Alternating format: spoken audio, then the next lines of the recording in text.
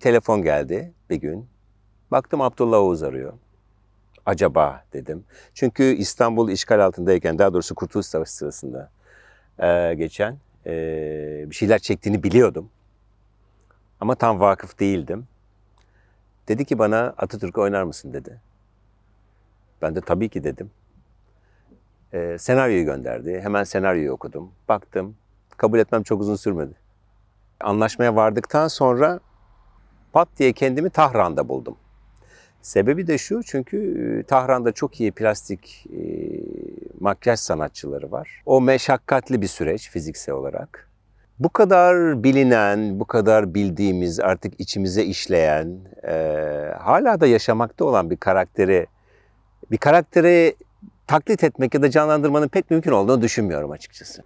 Onun bize bıraktığı şey için nelerle mücadele ettiğini bence daha iyi anlıyoruz. Onun hissettiklerini hissettiği şekliyle görselleştirmeye çalıştım.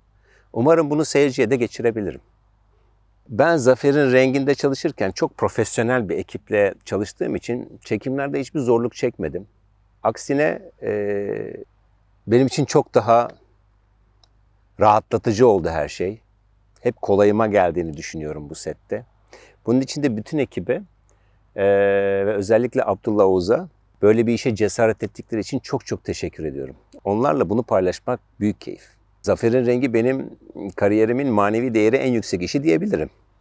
E dileğim gerçek olmuş. Daha ne isterim ki? Minnettarım.